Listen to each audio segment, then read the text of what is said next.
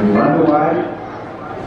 And as expected, Van Camp, the Queenslander, the tall, stride up on the shoulder of Will Rea.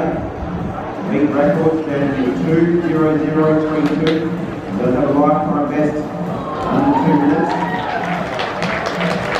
The Victoria, New South Wales, Wheeler has started strong. Will Rea, West Australia, find himself tucked away there in fourth place. Pace Van Camp, we've seen already these championships. Likes to lead from the front, 400 metre champ. And he finds himself well clear.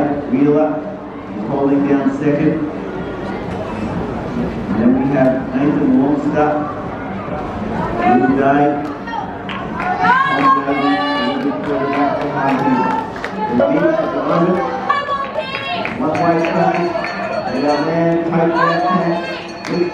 that lead forward. Certainly is. So we up Josh Smith's 20-year record here. We mentioned it's 2 point three two for Van Camp. Now starting to pick up the running as well was Wheeler. A bit further back to and so.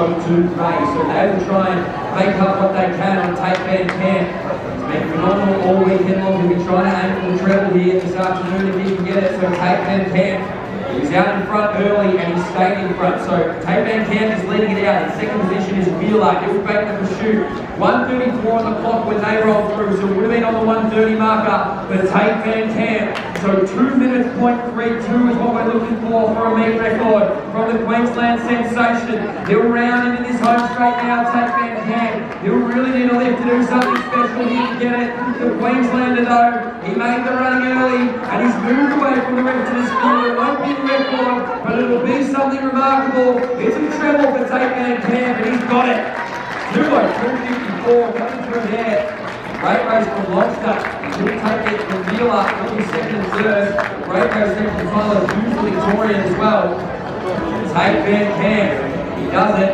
He wins them all here at the All Schools in Perth. What a performance in the